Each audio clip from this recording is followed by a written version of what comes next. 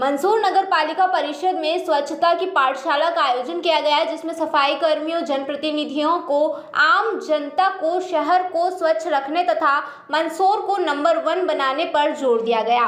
नगर पालिका अध्यक्ष रमा देवी बंसीलाल गुर्जर ने मीडिया को बताया कि आज नगर पालिका द्वारा एक कार्यशाला आयोजित की गई, जिसमें सफ़ाई कर्मचारियों के स्वास्थ्य को लेकर और कैसे बीमार होने से बचे, क्योंकि सब क्योंकि शहर को साफ़ रखने वाले ही बीमार हो जाएँ। इस संदर्भ में सभी सफ़ाई कर्मियों को अपने स्वस्थ अपने स्वास्थ्य के प्रति जागरूक किया गया। इस कार्यशाला में उनको ये भी बताया गया कि जब शहर में कचरा लेने जाते हैं तो गीला, सूखा कचरा अलग अलग करें, यह भी बताया गया। और नगर के लोगों से निवेदन करते हैं कि आप भी सफ़ाई के इस अभियान का हिस्सा बने और मंदसौर शहर को नंबर वन बनाने में अपनी भूमिका निभाएँ। हम सब अपनी ज़िम्मेदारी को समझेंगे और सफ़ाई कर्मचारियों की मदद करेंगे, तभी मंदसौर को नंबर वन बना पाएँगे।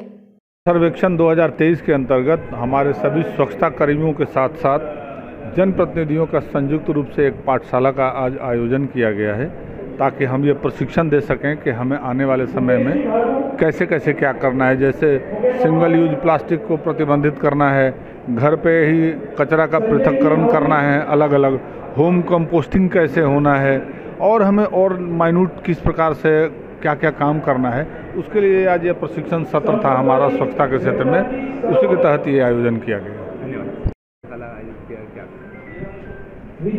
आज हमारे जो स्वच्छता कर्मचारी हैं भाई बहन उनको लेकर के उनके स्वास्थ्य और उनकी सुरक्षा कैसे हो, उसके यहाँ एक उज्जैन से आए हैं प्रभारी, उनकी पाठशाला थी, और उसमें हम सबने मिलकर उन, उन्हें ये जानकारी दी है कि आपका स्वस्थ रहना हमारे लिए कितना आवश्यक है, हमारे शहर के लिए कितना आवश्यक है, क्योंकि वो हमारे नगर पालिका जो शहर है, उसकी वो प्रथम कड़ी है, अगर वो वो इन नियमों का पालन करते हैं और वो उनकी स्वास्थ्य का ध्यान रखते हैं और ये सब हमारी भी ज़िम्मेदारी है और साथ साथ हम ये भी यहाँ पर उनको बताया गया है कि आप लोग जो हैं, जब कचरा लेने जाते हैं तो वहाँ गीला कचरा और सूखा कचरा भी अलग अलग करें, कुछ इस तरह का भी यहाँ इस प्रशिक्षण में बताया गया है। और हम साथ साथ हमारे जो नगर के निवासी हैं नगर वासी उनसे भी आग्रह करना चाहते हैं, निवेदन करना चाहते हैं कि आप भी सफ़ाई के महत्व को समझें, क्योंकि हमको सबको मिलकर के हमारे मंसूर शहर को नंबर वन पे लाना है।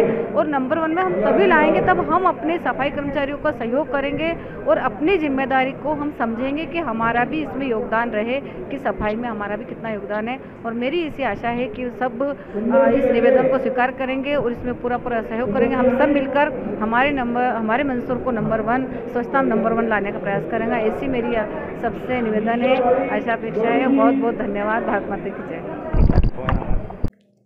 मंसूर से पीडी बैरागी की रिपोर्ट।